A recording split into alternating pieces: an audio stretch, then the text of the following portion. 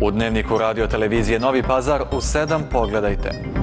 Gradski vijećnici o važnim pitanjima. U dnevniku saznajte kakve odluke su usvojene tokom današnjeg zasjedanja. Koliko su snježne padavine uposlile radnike gradske čistoće? Da li su od snijega očišćene sve ulice u gradu?